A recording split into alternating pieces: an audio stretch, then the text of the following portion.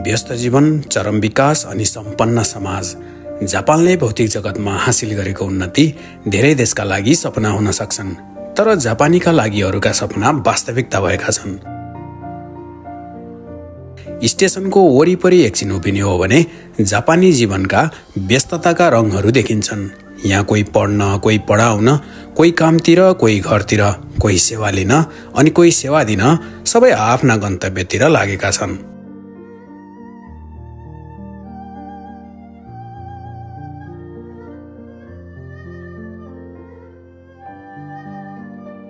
आजको हाम्रो गन्तव्य चाहिँ यो व्यस्त जीवनबाट अलिकति पर जापानको धार्मिक र आध्यात्मिक धरोहर अथवा जापानको सम्भवतः सबैभन्दा पुरानो स्तूप मध्येको एक इसेजिङ्गु रहेको छ।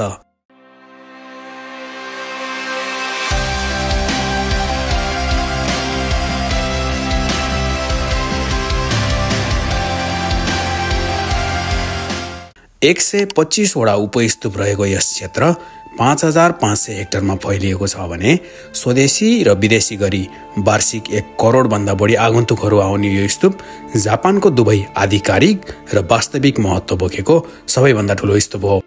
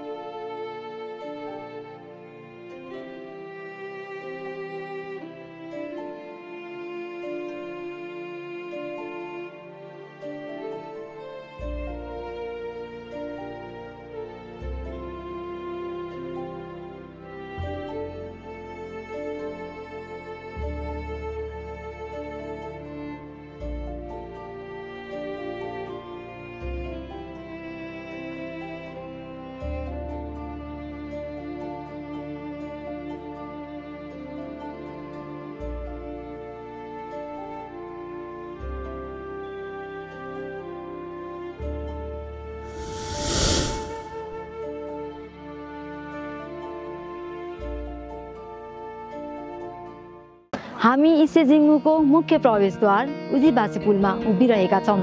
सन् छ सय नब्बेमा स्थापना गरिएको भनिए पनि पछिल्ला शताब्दीहरूमा हरेक बिस वर्षमा यस स्थानको पुनर्निर्माण गरिँदै आएकोले यहाँका संरचनाहरू नयाँ देखिन्छन्।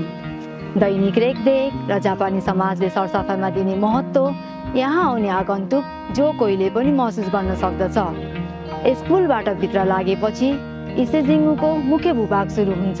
र मुख्य स्तूप पनि यहीँभित्र अवस्थित छ। यस पुल मुनि इसुजु नदी बगिरहेको छ। पशुपतिको किनारमा बागमती नदीको जस्तै धार्मिक र प्राचीन महत्त्व बोकेको छ यस नदीले पनि। जापानमा स्तूप छिर्नु अगाडि पनि शुद्ध हुनुपर्ने केही नियमहरू छन्। सामान्यतया स्तूपको प्रवेशद्वारमा हात धुन र मुख खुल्ला गर्नका लागि बाँसका केही भाँडाहरू राखिएका हुन्छन्। तर यहाँको तरिका अलिकति फरक छ र सजिलोको लागि नदीमै आएर पनि शुद्ध हुन सकिन्छ।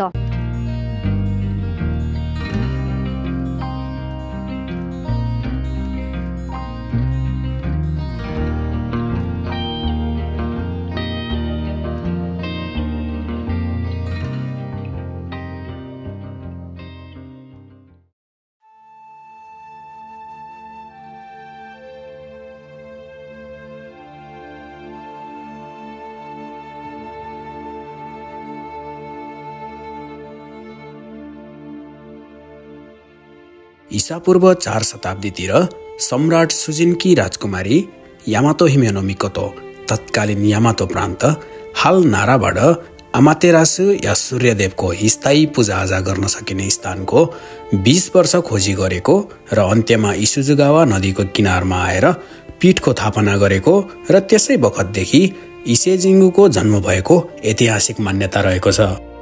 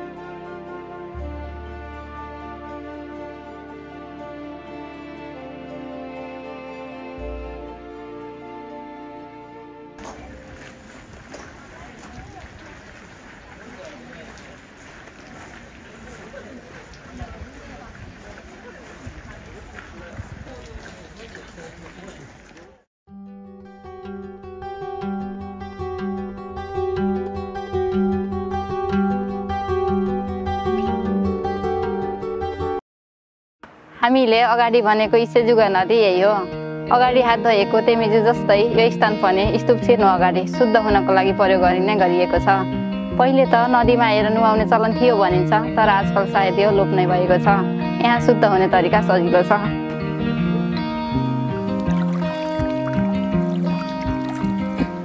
यति नै हो। अब हामी मुख्य स्तूपतिर लाग्छौँ।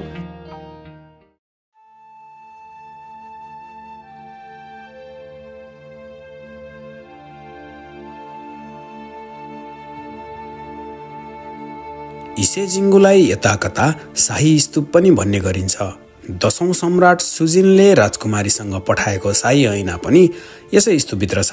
जापानमा सूर्यदेवको स्तूपभित्र ऐना राख्ने चलन छ। यसको विभिन्न अर्थ र व्याख्या गरिएको भए तापनि विशेष त सूर्यको उपस्थितिमा अथवा प्रकाश भएको बेला ऐना हेर्दा आफ्नो अनुहार देखिन्छ। यो मूलत हरेक प्राणीभित्र भगवानको स्वरूप छ भन्ने अर्थसँग जोडिएको छ। राजकुमारीले इसे जिङ्गुमा ऐना राखेपछि शाही परिवार यस जिङ्गुसँग प्रत्यक्ष जोडिएको र त्यसै समयदेखि राज्याभिषेक पछिको भ्रमण र विशेष पूजाआजामा शाही परिवारको उपस्थिति अनिवार्य हुँदै आएको छ।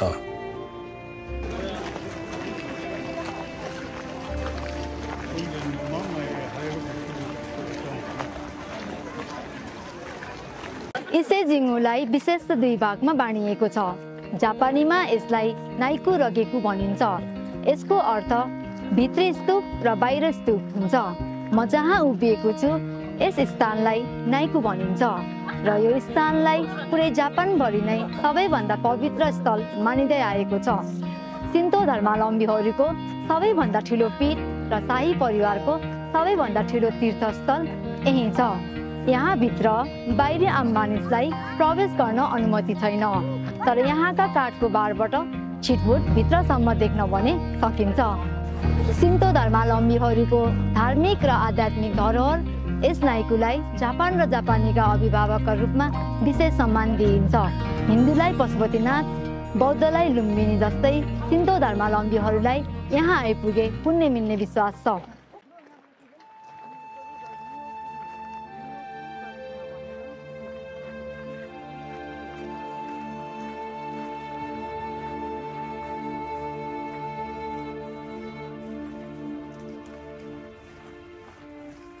इसेजिङ्गुमा दैनिक अनुष्ठान गर्ने परम्परा छ।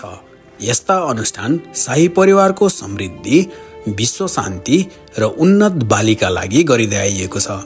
यस्ता अनुष्ठान स्तूपका भिक्षुहरू शाही परिवारको प्रत्यक्ष निर्देशनमा गर्ने भएकाले यहाँका अनुष्ठानलाई शाही अनुष्ठान पनि भन्ने गरिन्छ। नाइकुबाट छ किलोमिटर टाढा लागे पछाडि हामीहरू गेकु आइपुगिन्छ। यहाँ सिन्तो धर्मावलम्बीका अन्नदाता तोयोके नवमिकामीको स्तूप छ। यस स्थानलाई मानिसको आधारभूत आवश्यकता र जापानको उन्नति र प्रगतिको अभिभावकको रूपमा हेरिन्छ। नाइकुको देवलाई दैनिक प्रसाद भने यसै स्तूप वरपरका फाँडबाट उब्जाइएको अन्न र फलफुलहरू चढाइन्छ र नाइकुका सूर्यदेवको मित्रको रूपमा हेरिन्छ।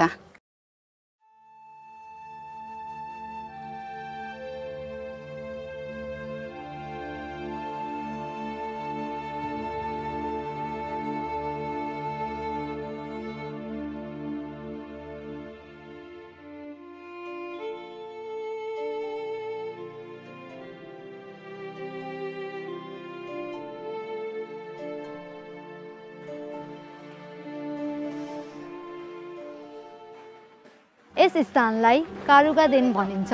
यहाँ औपचारिक सङ्गीत र नृत्यसहित अनुष्ठान गर्ने परम्परा छ।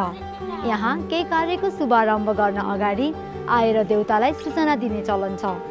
नेपाल जस्तो भाकल गर्ने या माग्ने भन्दा पनि जापानमा मियोकुरी भन्ने शब्दको प्रयोग गरिन्छ। मियोकुरीको अर्थ मार्ग निर्देशन भन्ने हुन्छ। जन्मदिन व्यक्तिगत विशेष दिन चाडपर्व नयाँ वर्ष विद्यालय भर्ना या स्नातोकर या जागिरमा प्रवेश आदिका दिनहरूमा यहाँ आएर देउतालाई मियोकरी गरिदिन भनेर इसेजिङ्गु अवस्थित मिए प्रिफेक्चरबाट मात्र नभएर टाढा टाढाबाट पनि जापानीहरू यहाँ आउने गर्दछन्।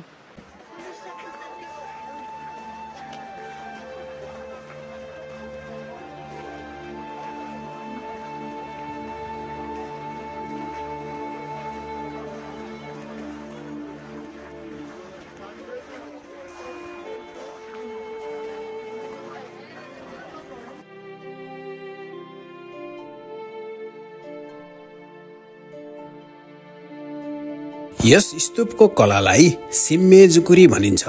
इसापूर्व दुई सय पचासदेखि पाँच सय अडतिसको कोफुन वंशमा विकसित भएको यस शैलीलाई अति साधारण र पुरातात्विक महत्त्व भएको कलाको रूपमा लिइन्छ र यस्तो शैलीमा बनेको जापानभरि यो एकमात्र स्तूप हो भनिन्छ।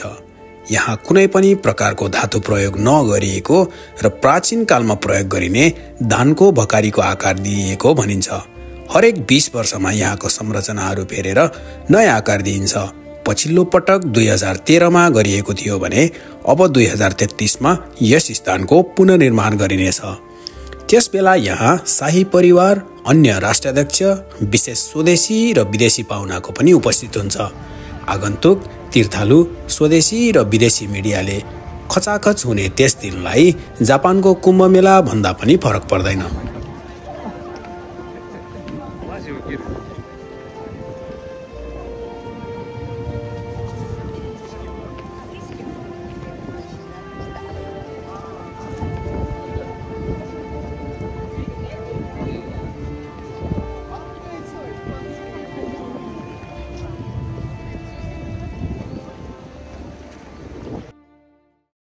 हामी उभिएको ठाउँदेखि परसम्म रेस्टुरेन्टका दाती र मानिसहरूको भिड देख्न सकिन्छ। यहाँ स्टेट फुडदेखि सालिन रेस्टुरेन्टहरू भेटिन्छन्।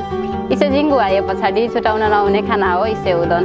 उदन गाउँबाट बनाइएको चाउचाउ आकारको र अलिक बाक्लो हुने भएकाले मजाले चपाउनु पर्ने हुन्छ। थोरै मात्रामा सुप प्रयोग गरिने र सोया सस हालिएको हुनाले अलि नुनेलो लाग्न सक्छ। तर इसे उदनलाई स्वस्थ खानामा वर्गीकरण गरिएको छ।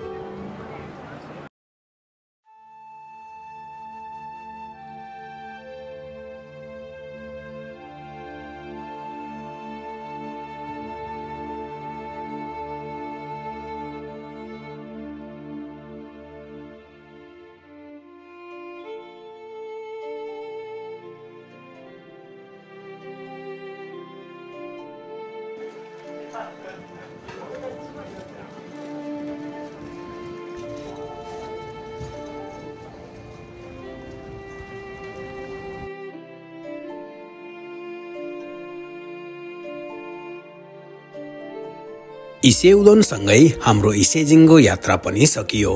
जापानमा रहनुभएका या भविष्यमा जापान घुम्न आउने योजना बनाउनुभएका सबैका लागि इसेजिङ्गो आउनै पर्ने गन्तव्य हो।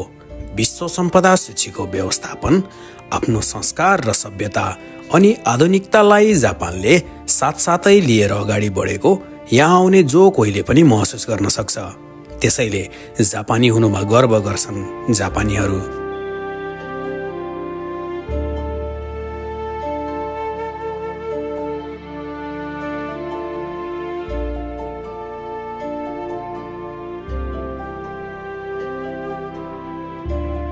यहाँहरूलाई हाम्रो भिडियो कस्तो लाग्यो भिडियो मन परेमा लाइक सब्सक्राइब अनि सेयर गर्न नबिर्सनुहोला भिडियो सम्बन्धी सल्लाह सुझाव भए हामीहरूलाई कमेन्ट गर्न सक्नुहुनेछ